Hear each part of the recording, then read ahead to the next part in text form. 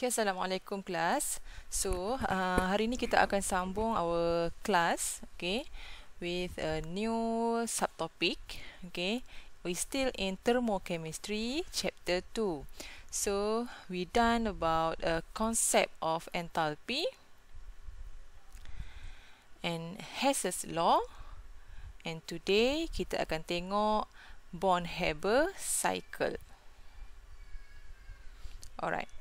So, at the end of the lesson, you should be able to define electron affinity and lattice energy. Explain the following effects of the magnitude of lattice energy. First, ionic charges. Two, ionic radii.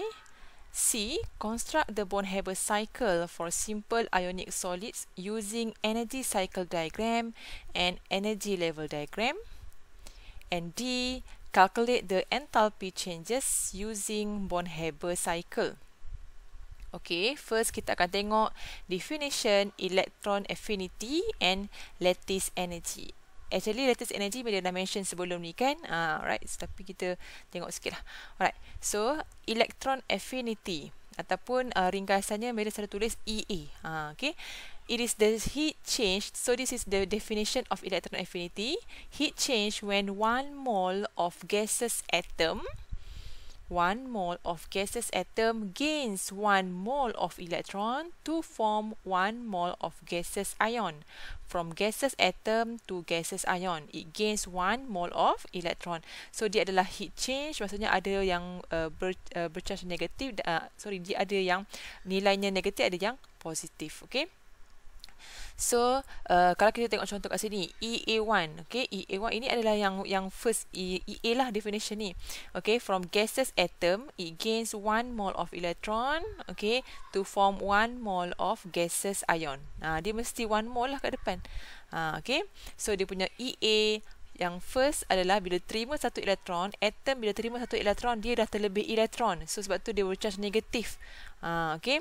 So dia perlu release energy. So dia punya nilai kat sini adalah negatif. Okay. And then bila kita uh, nak buat second EA sebab O ni biasanya dia terima dua elektron. O2 minus kan lagi stable.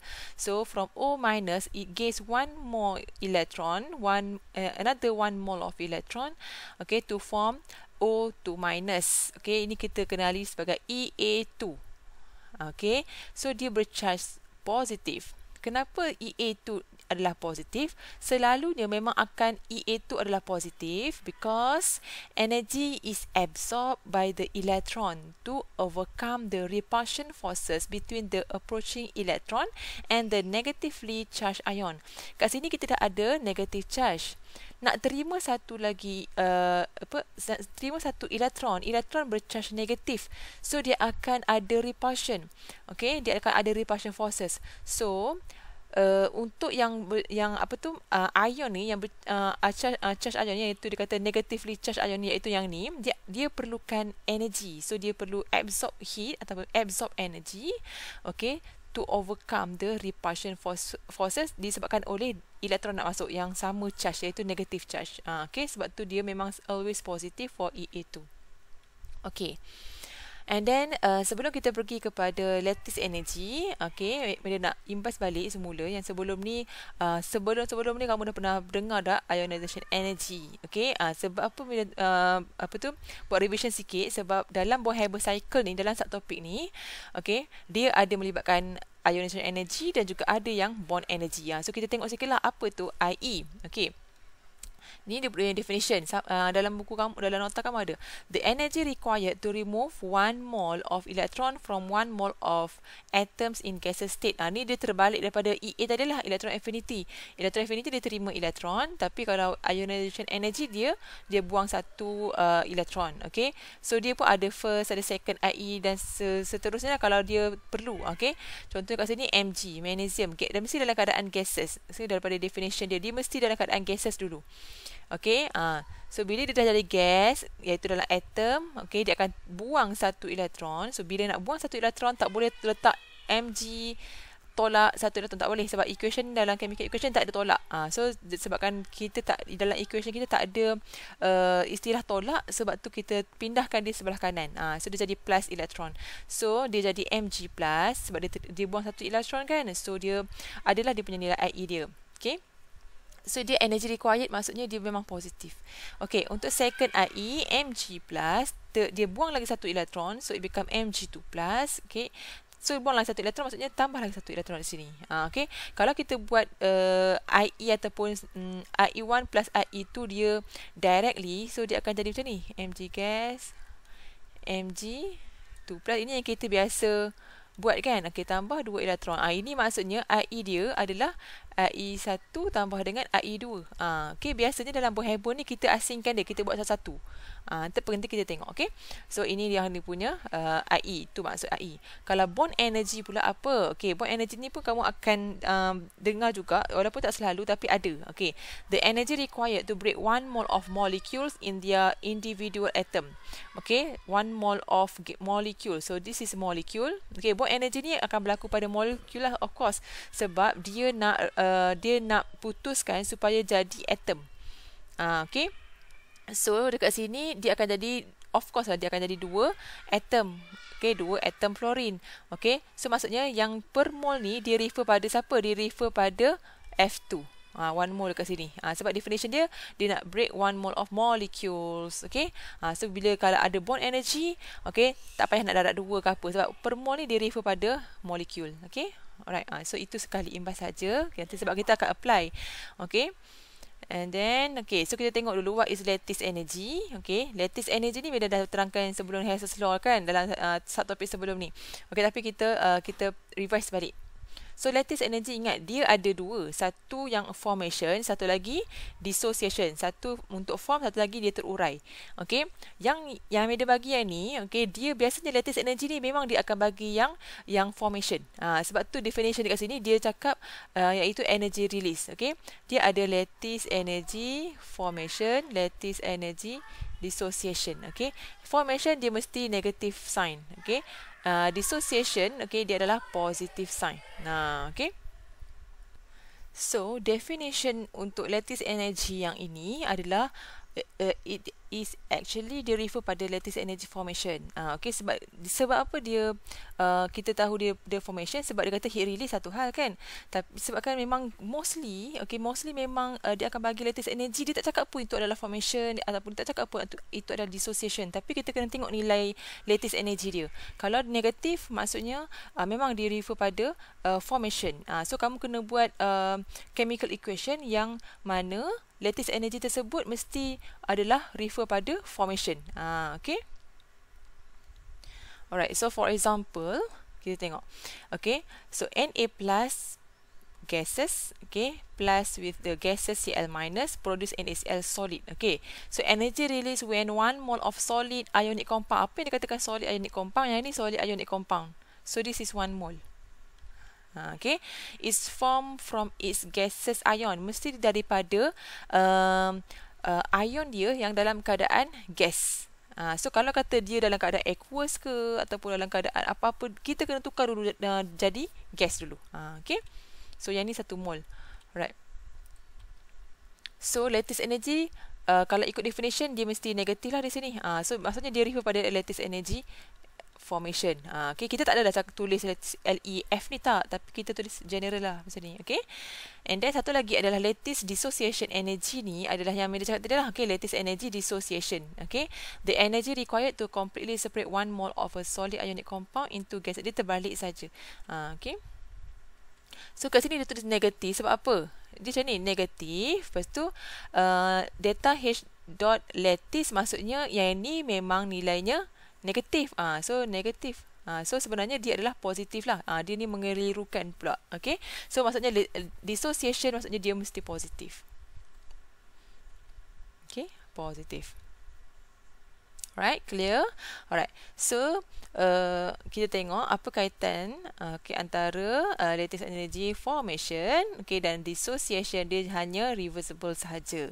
Okay, formation dia nak form solid ionic compound while for dissociation from solid ionic compound dia akan form dia punya gaseous ion. Uh, okay, so dissociation positive, formation negatif. Ingat ni penting sebab dia sangat penting dalam subtopik ni. Tengok betul-betul. Alright. So, the magnitude of delta H lattice remains but its uh, sign changes. Alright. So, a larger lattice energy indicates higher stability of the ionic compound and higher strength of ionic bonds in the ionic crystal. Okay, maksudnya kat sini, um, maksud larger lattice ni, dia punya negative charge value dia tu tinggi. Okey, seperti yang kita tahu kalau mat secara matematik bila sesuatu value tu uh, negatif, okey, uh, satu value tu negatif, um, uh, kita tahu kalau lagi more negatif nilai lagi kecil lah, ha, kan? Tapi dalam kes ni kita nak tengok negatif tu just indicates that uh, the heat is released, okey. Just kita tengok value dia. Ha, okey, kalau value dia lagi tinggi maksudnya dia pun itu yang dimaksudkan larger uh, lattice energy dekat sini. Ha, okey, maksudnya higher negative uh, value. Uh, okay. So dia adalah higher stability and the higher strength. Uh, okay. So sekarang ni kita nak masuk yang bahagian yang yang LOB tu. Iaitu kita nak tengok apa faktor yang mempengaruhi uh, magnitude of the lattice energy. Okay. So lattice energy is inversely proportional to the ionic distance, ionic distance ataupun ionic radii. Maksud dia dari segi dia punya size lah. Okay, size dia ataupun size. Sebenarnya kita tak cakap size, sebenarnya kita cakap ionic distance ataupun ionic radii. So kita size tu kita tengok dari segi dia punya radius. Ah, okay. And then it is directly proportional to the charge of the ion. So, maksudnya dekat sini kita boleh kata kalau dia punya uh, ionic uh, distance ataupun ionic radii lagi kecil, maksudnya lattice uh, energy, okay, lattice akan jadi lagi besar nilai dia. And then kalau dia punya charge lagi besar, okay, lattice energy akan jadi besar tinggi juga. Ha, okay, charge ion dia. Ion ni eh, ha, ni pun ion. Kita tengok ion. Okay. So, the magnitude of lattice energy increases. Okay. As, okay, ni boleh cakap tadi dah. Okay. Kalau ions tu dia get closer together. Okay. Dia, dia, sorry, dia punya size dia ataupun energy radii dia sikit uh, betul kecil smaller. So ionic ions gets closer together. Okay? And then bila dia rapat dia strong lah. Uh, okay? More tightly lah. And the ionic charge okay increase. Maksudnya charge lagi besar. So ion attract each other more strongly. Okay? So ini uh, kalau radii berkaitan dengan dia close together and kalau ionic charge dia akan jadi more strongly. Okay Alright, so kita tengok satu um, contoh. Okay, contoh ni uh, dalam uh, pada page kamu, page uh, cannot adalah page 41. Ha, okay, boleh refer pada page 41. Okay, uh, between NaCl and NaBr, okay, kalau kita tengok dia punya, dari segi dia punya charge, okay, charge dia sama. Okay, kenapa charge dia sama? Dia cakap, Na, Na sama kan? Cl minus, BR minus. Maksudnya nilai charge dia satu. Negatif satu sama. Ah okey. So maksudnya apa yang bezakan dia? Ionic radius. Okey ionic radius for Cl minus is smaller than Br minus. Okey kita tak cakap NaCl dengan NaBr tau. Tak kita cakap dari segi ion dia. So kita tengok dekat sini 0.181 so for, for Cl minus and then for Br minus so this is Br minus okey Cl minus dia adalah 0.195. Okey dia beza sikit je tapi dia bila dia beza walaupun dia berbeza uh, dia dia uh, significant lah. Uh, okey. So ionic distance for NaCl is smaller. So bila kita cakap ionic radius tu antara Cl smaller than Br kita kena conclude that the ionic distance between ACl is smaller. Cakap pasal dia pula. Okay. Due to the fact that okay, lattice energy is uh, uh, uh, inversely proportional to the ionic radii. Uh, okay, uh, so the smaller the size, the higher the lattice energy. Okay, so we can say that we can conclude that the lattice energy of NaCl is bigger than lattice energy of NaBr. Alright.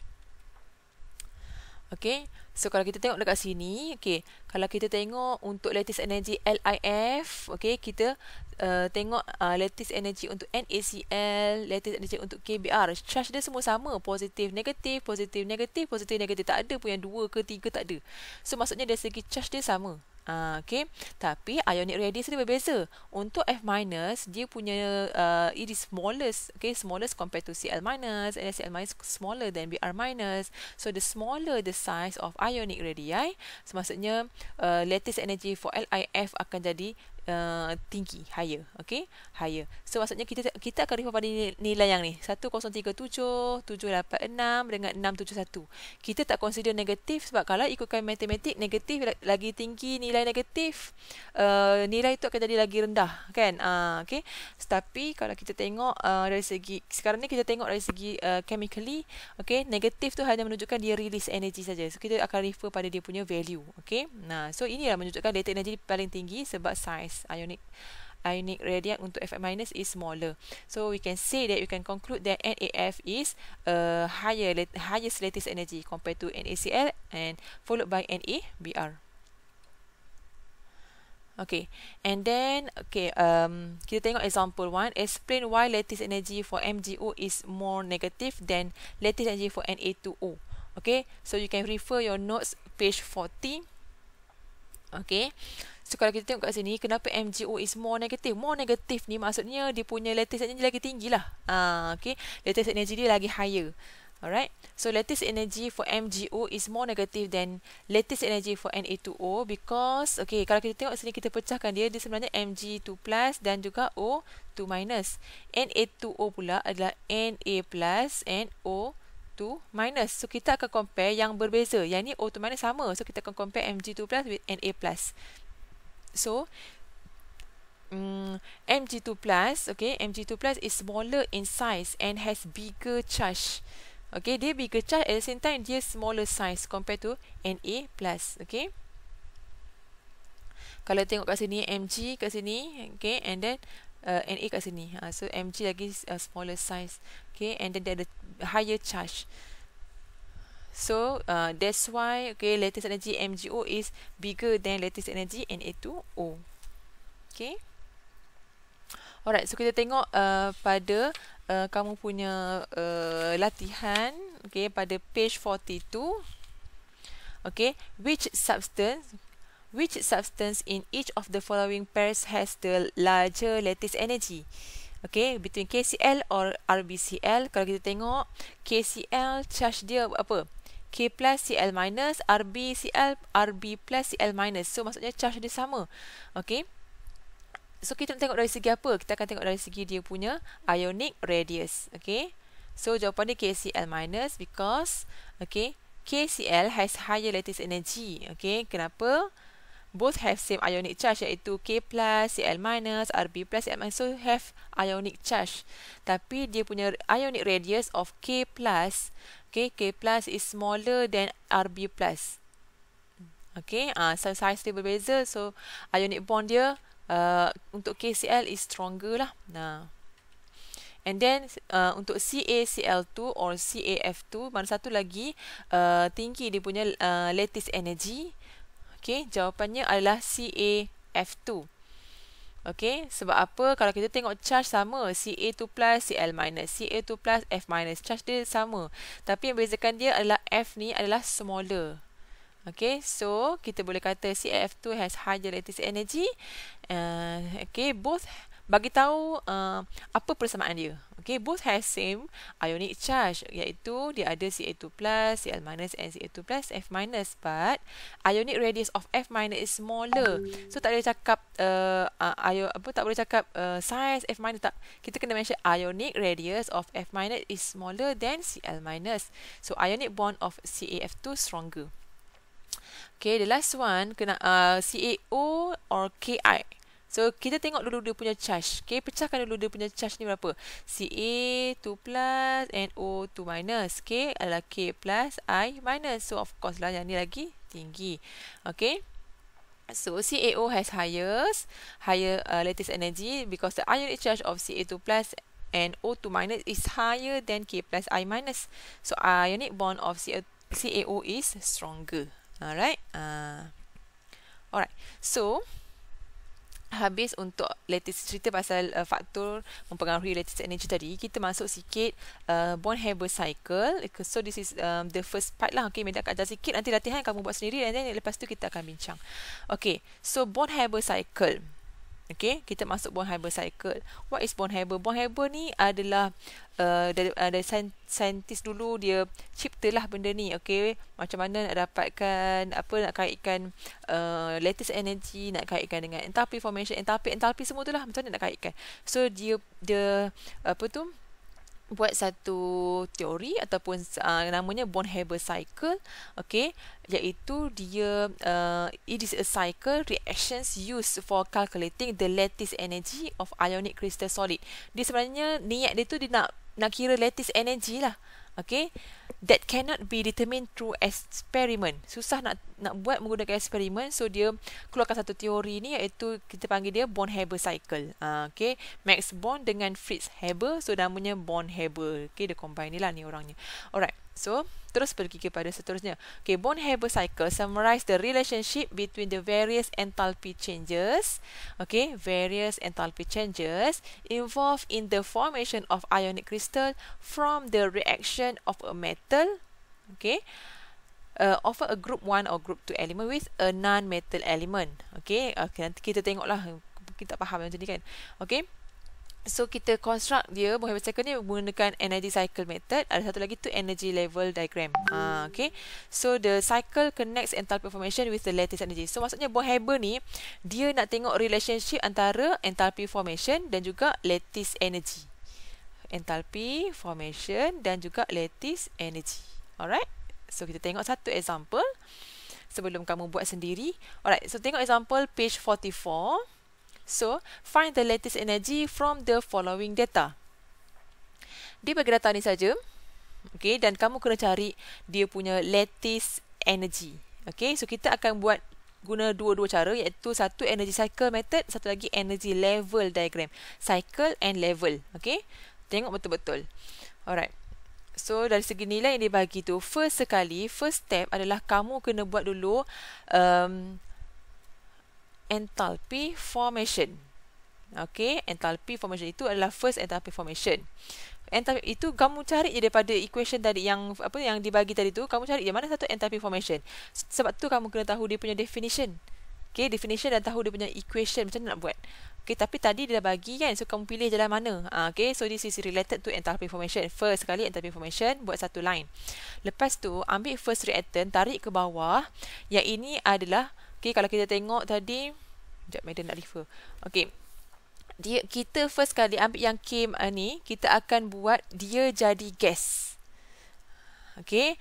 Nama dia adalah enthalpy uh, sama ada sublimation pun boleh ataupun enthalpy.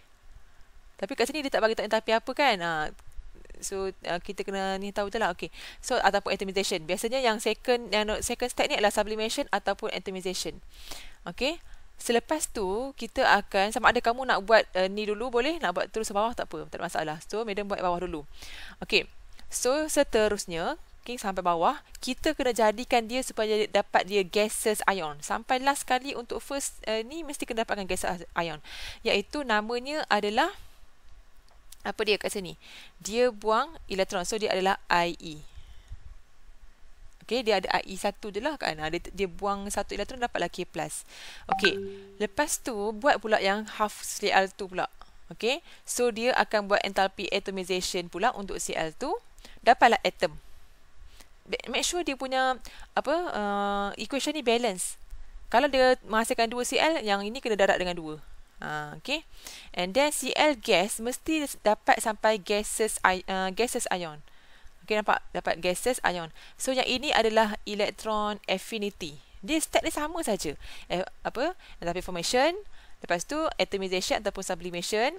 Yang ketiga adalah IE. Naik atas, dia adalah atomization untuk Cl pula. Yang ke uh, empat eh. Okay, yang keempat. Yang kelima adalah EA. Sampai dapat gases ion. Okay, bila dah dapat gases ion, letak plus pada kedua-dua sekali.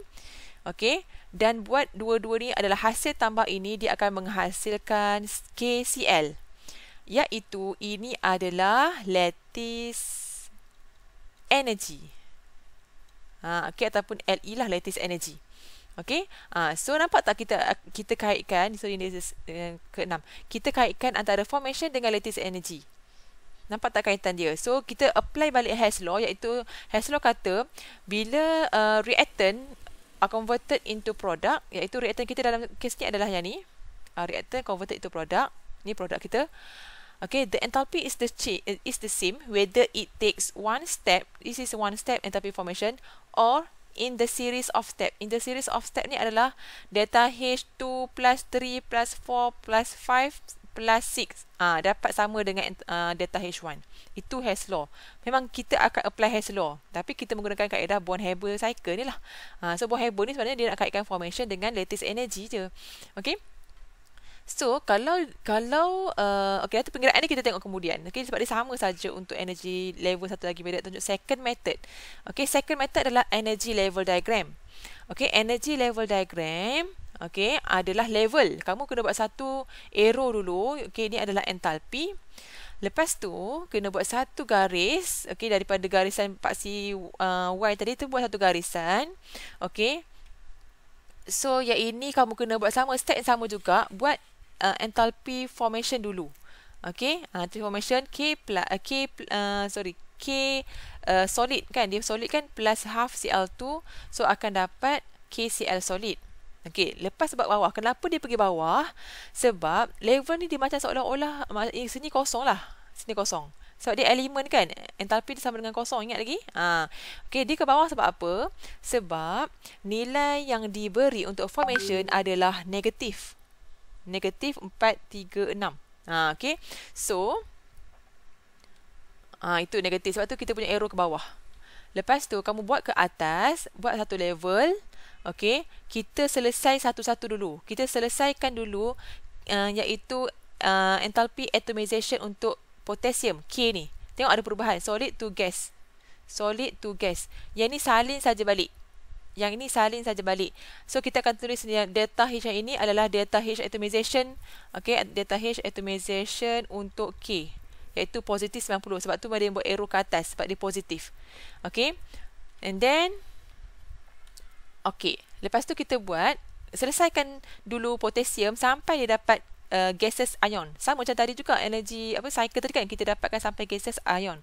Okey, kenapa dia punya level tinggi lagi? Sebab value dia adalah lagi besar iaitu 400.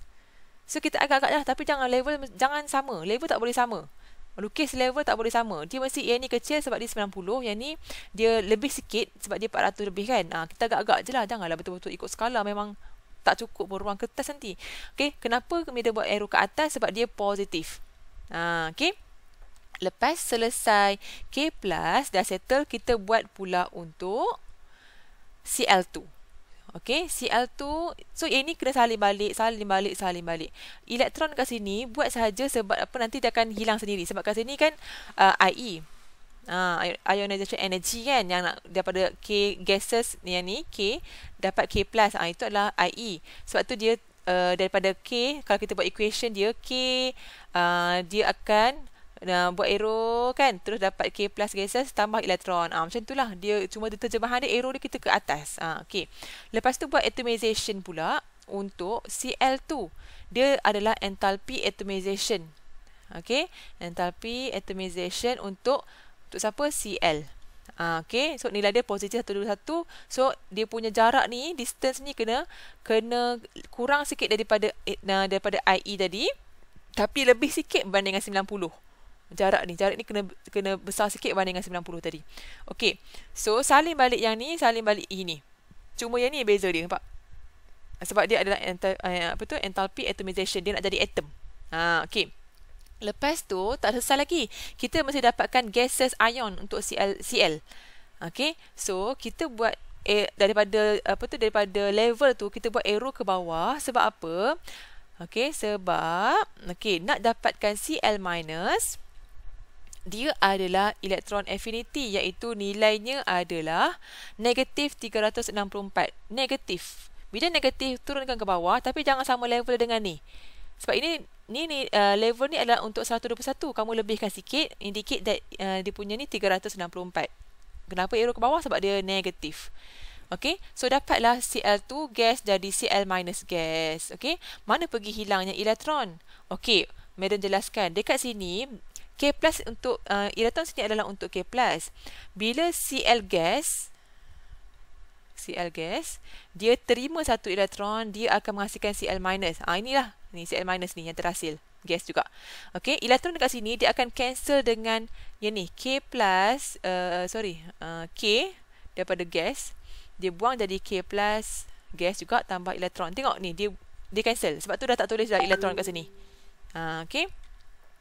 So dah dapat gases ion, cat ion dan juga anion. Buat arrow terus ke bawah yang ini adalah lattice energy kita. Okay, lattice energy yang kita nak cari iaitu lattice energy formation. So, macam mana kita nak kaitkan dengan Hess law? Hess law kata daripada reactant nak dapat produk dia sama ada dia uh, buat one step ataupun in the series of step actually sama entalpi dia sama. So which one is the one step? Yang ni one step. Tengok daripada reactor ni dapat produk one step saja terus dapat. Tapi uh, satu lagi cara dia buat dia pergi jalan jauh. Daripada daripada reactor yang sama dia pergi sana jalan jalan jalan jalan jalan putus pula okey jalan jalan jalan lagi jalan jalan jalan dapat benda sama iaitu KCl so ini kita panggil dia series of step Ha, okay. Yang ni one step saja. Ha, okay. So, dah nampak kan beza antara energy. Ah, oh, ini media salah eju pula. Okay. Energy. Okay. Energy uh, cycle method dengan energy level diagram. Okay. Ini pada page 47 eh. Kamu buat pada page 47. Ha, okay. Dia punya, dah, dah ada ruang dah. Okay, so kamu cuba buat. Okay, so kita mesti kena apply Hess law punya. Okay, Hess law kata one step sama dengan series of step. Okay, masukkan nilai. Okay, dan dapatlah jawapan iaitu delta H6 ni adalah lattice energy sebenarnya. So, biasakan kalau boleh jangan tulis 1 2 3 4 5 ni tak payah. Kamu biasakan buat data H formation ke data H atomization ke IE EA supaya bila kamu ingat benda tu dia sebenarnya adalah benda yang sama sahaja. Dia step dia step 1 buat uh, data H formation. Step 2 kena buat data H atomization. Lepas tu buat apa buat apa sama je step dia. Sebab tu daripada instead of kamu buat 1 2 3 4 5 6 ni better kamu buat formation atomization IE EA semua. Okay? Alright So habis untuk example 1. Okay. So kita akan continue. Okay. Kita akan continue uh, untuk yang example yang seterusnya. Okay. Uh, yang example yang ni kamu buat dulu page 45 ni sampai habis. Okay. Cuba buat energy level diagram, energy cycle diagram dua-dua sekali. Next session video akan kita akan bincang.